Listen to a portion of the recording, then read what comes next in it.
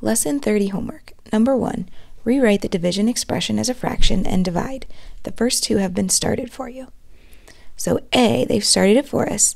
They have 2 and 4 tenths divided by 8 tenths, and they rewrote it as a fraction. And then, just like we were doing before, to multiply or to divide de decimals, what they're doing is multiplying 2 and 4 tenths by 10 in order to make it into a whole number, 24, and then multiplying 8 tenths by 10 in order to make that also into the whole number of 8. So what we have is 24 divided by 8, which is equal to 3. For B, they did the same thing, except this time they had to multiply by 100 because we need to multiply the top, the numerator and the denominator by the same number so that it will still be an equivalent fraction. And in order to make 8 hundredths into a whole number, we needed to multiply by 100. If we'd multiplied by just 10, we would have only gotten 8 tenths, and that's still not a whole number. So we had to multiply this by 100 and this by 100. So we got 240 divided by 8, and 240 divided by 8 is equal to 30. C, 4 and 8 tenths divided by 6 tenths. So as a fraction, that would be 4 and 8 tenths over 6 tenths. Now, since we're working with tenths, both of them are tenths, we're going to multiply by 10. So it's equal to 4 and 8 tenths times 10 over 6 tenths times 10, which would be equal to 48 over 6. And 48 divided by 6 is equal to 8. D, 48 hundredths divided by 6 hundredths. So 48 hundredths over 6 hundredths. Now here, since we're working with hundredths, we're going to multiply by 100 to get them both into whole numbers. So we would have 4 and 8 tenths, or sorry, it's 48 hundredths.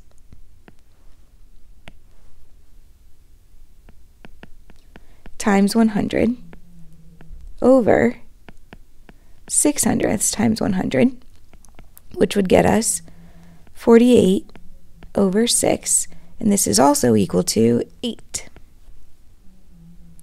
E, 8 and 4 tenths divided by 7 tenths. So it would be equal to 8 and 4 tenths over 7 tenths. Here we're working with tenths, so we're going to multiply by 10.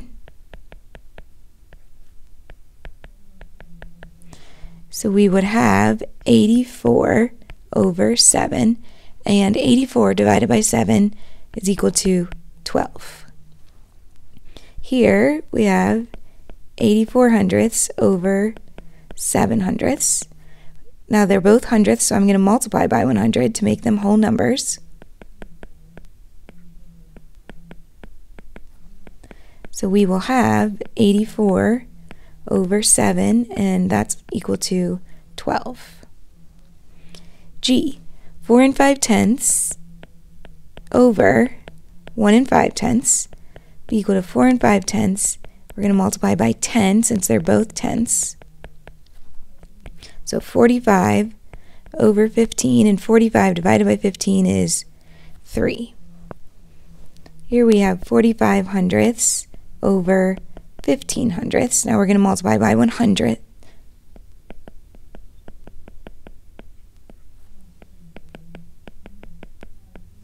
And that would be equal to 45 over 15, which is equal to 3. 14 and 4 tenths over 1 and 2 tenths. So we'd have, we need to multiply by 10.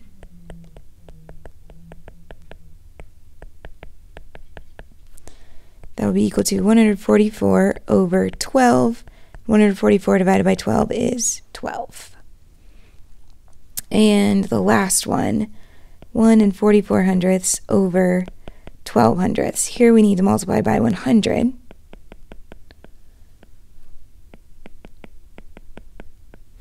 We get 144 over 12 or 12. Number two, Leanne says 18 divided by 6 equals 3. So 1 and 8 tenths divided by 6 tenths equals 3 tenths, and 18 hundredths divided by 6 hundredths is equal to 3 hundredths. Is Leanne correct?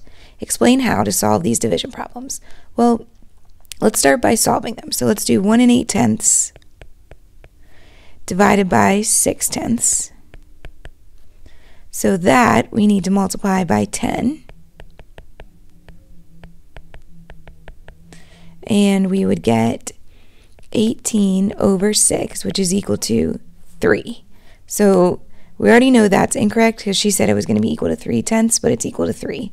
So let's do this one where we have 18 hundredths over 6 hundredths. So we're going to need to multiply that by 100.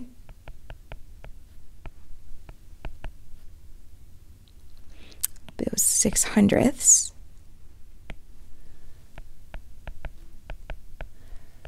That would also be equal to 18 over 6 or 3.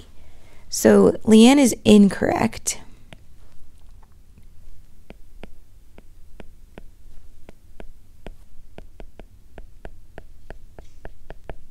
Because when we rewrite them,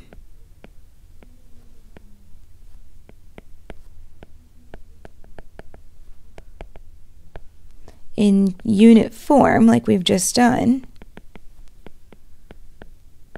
they are all equal to 3.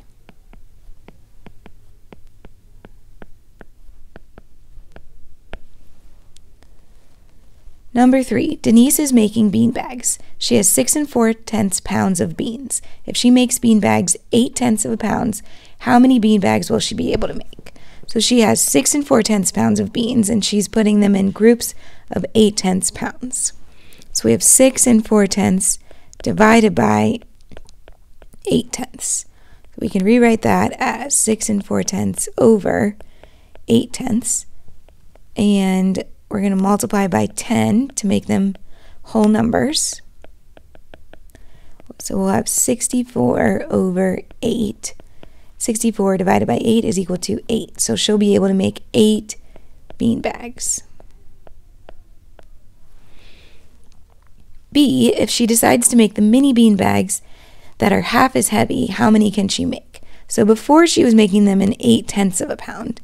So if we take 8 tenths of a pound and make them half as heavy, or divide it by 2, we'll have 4 tenths of pounds.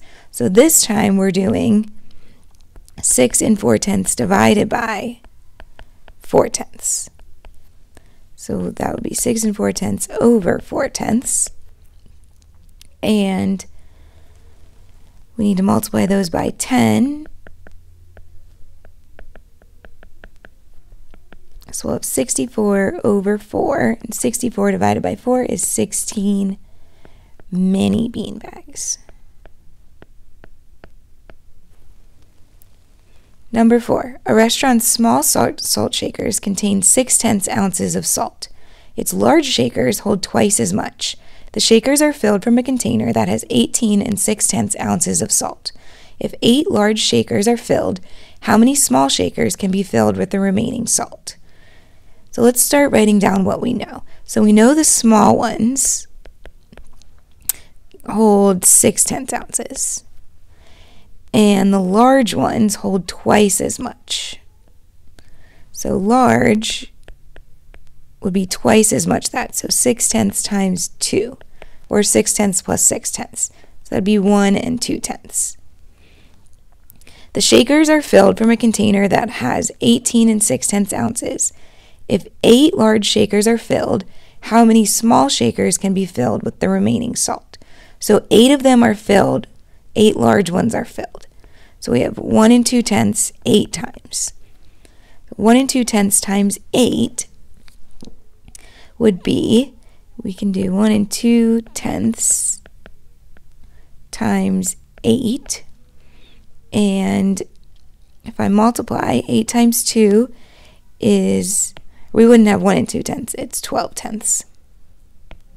Fix that. So 8 times 2 is 16. Carry the 1. 8 times 1 is 8. Plus 1 is 9. So we have 96 tenths, which would be equal to 9 and 6 tenths. So 9 and 6 tenths are used for the large shakers. But we have 18 and 6 tenths ounces. So let's figure out how much we would have left after we take out however much is in the large shakers. Bring the decimal point down. So we have nine ounces left for the small shakers here. So what we need to do is 9 divided by 6 tenths to figure out how many small shakers can be filled.